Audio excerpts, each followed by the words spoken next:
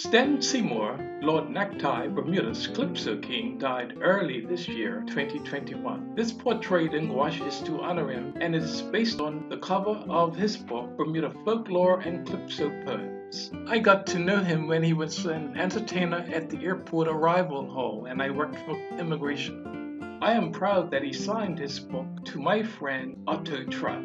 In this book, you'll find songs that he's known for, such as the diddly bop and the gooseneck handlebars, zigzagging through the motor cars. Come round the corner, four in a row upon the sidewalk I had to go. My kite flying high, way up in the sky. And also, all the way to Tucker's Town, getting drunk and falling down. All the way to Bailey's Bay, fishing potatoes every day.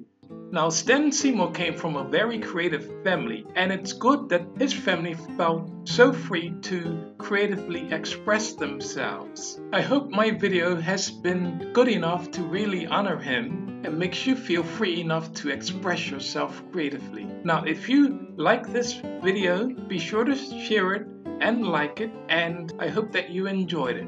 Thanks for watching. Bye.